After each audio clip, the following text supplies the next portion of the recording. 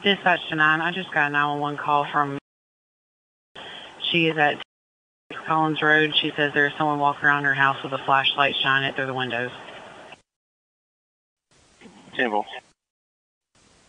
26 what? 6 Collins Road.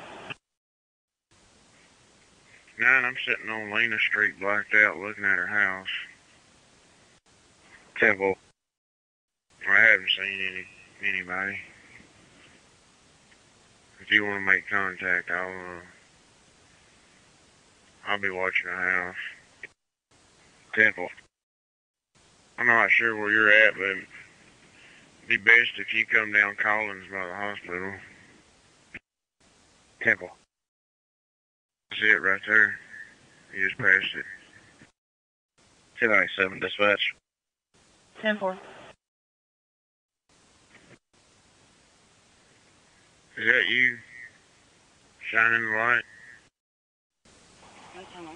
1050. That's the guy that's with her. No.